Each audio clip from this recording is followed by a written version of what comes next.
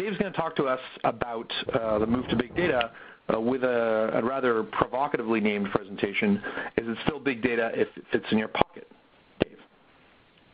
Thanks. Can you uh I'm assuming you can all hear me, but I'll watch the chat in case that's not the case. And uh, I actually um, gave a talk some time ago to a large database conference, um, and it was about, is it still big data if it fits in your pocket? The idea is that there are a variety of dimensions um, on the big data uh, challenge, and some people define it in terms of velocity, variety, eh, volume, uh, complexity.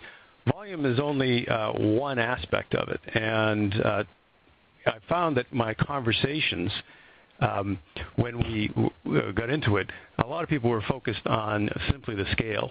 Um, really what I've been doing in the last couple of years here at Microsoft is to try to determine where the new value is in big data, um, and uh, looking at those people who have already crossed the chasm in realizing value. Uh, one of the interesting things about working here is that uh, Microsoft's one of a small collection of companies which is actually Uh, in the extreme data um, space in that we process hundreds of petabytes of data uh, for online services business. And um, the architect of Bing Search uh, used to work with me in the database space 10 or 11 years ago. What's been fascinating for me when I run into him every once in a while is that our worlds are converging. Um, they're starting to look more alike than they did, say, five, seven years ago. Big data, to me, it's about unlocking the latent potential value of data in all forms, shapes, and sizes. And uh, if you think about information technology all along, it's been about how do we transform signal into information and ultimately into knowledge. And then once we have knowledge, we can then use it to affect action or to derive new insights. Um, and that's what we've been doing. You can even elevate it above that and say that's what the scientific method's about and such. One of the things I think is really interesting here, and I've been doing um, sort of database and uh, information management systems for over a quarter of a century. So um, when I started doing this, everything was expensive. The machines were expensive, the disks were expensive. Uh, in fact, even acquiring the data was expensive. So if you unwind all the way back 30, 40, 50 years ago, we were paying people to type uh, information into digital form so we could go feed it to the mainframe and whatnot. You can still pay people to type things in for you, and it's roughly a dollar per kilobyte, whether it's manuscript typing or data entry. So if you think about it that way, it costs you roughly a dollar ten US to have someone type in the Gettysburg Address for you. It's about a $1,000 to have someone type in Moby Dick. Um, and if you scale it all the way up, it's about a $1 trillion a petabyte. Uh, the key point here is not that you know people are all typing this in uh, on our behalf, but um, there's just a ton of data that's born digital, even analog phenomena like uh, photographs or your conversation on a cell phone. So, if you think about where we worked and how we operated several decades ago, we thought about the questions that we wanted to answer first. then We thought about what's the appropriate information model for it. Then we went around trying to figure out where we could find the data to support and populate the model. Um, and, and then we thought about, you know, early on, how we actually got it into digital form. If you think about existing systems, much of the data that we have is in digital form in some place. Uh, but the operation of populating that information model is very expensive in and of itself. Uh, extract, transform, load uh, to populate new systems, they're all pretty much bespoke to populate that information model. So challenges that people have if they have a new question, um, is that you then need to go find someone who's going to change the model, go find the data, transform, load it. Uh, often this takes weeks, if not months. So the latency, the time to insight, Uh, when you have a new question in the way that we've traditionally built systems, uh, can be incredibly long. So if you think about turning things around, where now we're in an environment where we have more signal and data uh, than we know what to do with. The question is, how do we capture it all, and how do we effectively turn it into information and knowledge? Um, one of the things that cost us an awful lot in the past was actually building different forms of information models to support different questions. Uh, we spent a lot of time defining the schema, and there's, there are actually several dimensions you can look at this. There's the aspect of the schema uh, that supports the system. Uh, and one way to think about this in, say, a relational database is the logical schema and sometimes serves as a scaffold or the spine for physical things that you put on it, like indexes uh, and such, or views, or materialized views, index views. Um, and in the world we're in right now, with more people doing in-memory compressed column stores, there's less of an association between the logical and the physical model. So we're in a much different place uh, where we have an abundance of signal and data. And the question is, how do we turn it into business value? That's that is the ultimately the question here. And it really is not about size. Um, one of the things that, uh, and I'll get into this uh, in a slide or two, is these new signals, um, we need to transform them into a different form.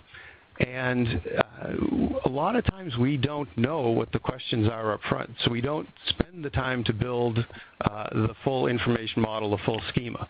Now, a critical point here is that this doesn't diminish the value of the full schema or the full information model. It just says that you don't need to do it all up front uh, before you can start to answer initial questions and explore. So this is a, a big, big shift. So think about this just in the context of we have lots of digital signals available. How do we even validate? How do we know what they're trying to tell us? So one of the things um, I have done sort of on this uh, journey on big data for the last couple of years is to look at the patterns. Um, and I get an opportunity to go out and talk to a lot of customers, find out what's happening. And I put a lot of stock in cases when I find customers um, basically discovering certain patterns without speaking to others. And quite often, you'll see them go two or three uh, iterations and then uh, come on some patterns. I've put together probably uh, seven, eight, nine patterns in the big data space, and I only have time to talk about two of them uh, today, but I think they sort of have a cut through this and, and make the story. First, the patterns I'll describe is something I call a digital shoebox. Other people call it the data depot. Uh, the idea is you have these signals out there. Can you just squirrel them away uh, because you don't know what you're going to be using it for later? Um, the second pattern, which is really interesting, is this information production where you take the data in the digital shoebox and turn it into information. I'll get into this notion of domain shifting um, and the ability to just do transform and load into existing systems. This is a very common pattern that we see. So the, the digital shoebox pattern is about retaining this ambient data that I call the data that is uh, simply available. Um, and the, there's a, uh, an equation I have below here which didn't render in here. There is a tipping point um, when you actually get to a point where the perceived latent value of the data exceeds the cost to acquire and store it. Let me say that again. So if you realize that the value of this data that doesn't cost anything to have in digital form anymore or to acquire in digital form, if its perceived value is greater than the cost for you to just uh, store uh, and then figure out what to do with it later, then you're at a tipping point you might as well just hang on to it. Um, and, and, so this is one of the very, very common patterns. Uh, and it serves a lot of different purposes. Uh, and I'll describe just one in the next slide here on information production. So the idea is transforming the ambient data into events and states and to cleanse and normal, normalize uh, the ambient data streams and produce information feeds for other systems. Now, um, if I think about this in the context of it's, is it still big data if it fits in your pocket, one of the things that I have uh, been doing since March is walking around with a GPS data logger in my pocket. And I have built my own little digital shoebox, and um, I do information production out of that. So I transform my GPS telemetry into uh, events and states like am I at home? Am I at work? Uh, have I paused somewhere where I haven't moved in, say, you know, 10 minutes? Um, then what I can do is reverse geocode that. So I'm able now, based upon this, is just go back and do a query like three Saturdays ago, what did I do? Well, I went to Costco, then my wife and I went to Panera Bread, had lunch. And, but this point of uh, transforming from this ambient data, just the raw GPS telemetry, into events and states that begin to look more like the traditional forms of data that I would uh, use in traditional information systems. So another thing that I've done here is to, uh, I've got a little script that I run on my Outlook uh, my sent mail, uh, which describes uh, when do I send mail and what's my response latency. Now, by correlating these two state and event streams, uh, what I'm able to do, and sometimes it's quite depressing, is to figure out how much email I send while I'm at work and how much email I send when I'm at home. And the point is that um, this data uh, and the information production arc that you see this transform going back into the digital shoebox uh, is where a lot of the value is. You, people just start to enrich it into different forms uh, that can serve a variety of uses. Um, and not knowing up front how you're going to use it. So if I think about how it fits together, um, being able to do something like social media analysis, uh, fraud detection, consumption segmentation, and uh, this transform and load. And I'll speak to these uh, quite quite briefly. It's really about taking a variety of signals and then turning them into something that a different number of people, different set of systems can consume. So an easy way to think about this is the FICO score or the credit score, where there can be all sorts of exotic uh, computations that go into computing that one number. Uh, and on the consumption side, all you need to know is how to ascribe meaning to the number. So if it's greater than 650, I'll grant the, uh, the loan, and if it's lower, I won't. Um, same thing with social media analysis, being able to uh, come up with a sentiment score. Here's another couple of interesting points that I've uh, discovered. Is we look into fraud detection in financial services, um, I see a pattern where there are financial services companies who are bringing fraud detection back in-house whereas they had been using third parties to do this uh, on their behalf and they're bringing things back in-house. Uh, same thing with uh, web analytics and clickstream for uh, commerce sites. And when I ask them the reason for that, it's uh, typically twofold. One, these uh, the value that they realize out of these systems quite often lands quite near the top line or the bottom line of the business. So they figure if they can do a better job of it by knowing their space better, um, it's going to have a, a, material effect on the business. And the second reason, which is probably more important for thinking how the market plays out, uh, many of these companies have additional signals uh, that they have that the third party is not using uh, in these calculations. Uh, and the reasons for that can be severalfold. One, that the third party doesn't have a means to incorporate it into their model, or in some cases because the, the data is considered proprietary and it's not something that these uh, companies are willing to let out, but it's something they're willing to in, uh, incorporate into the model if they're doing it themselves in-house. Uh, another quick example, consumption segmentation.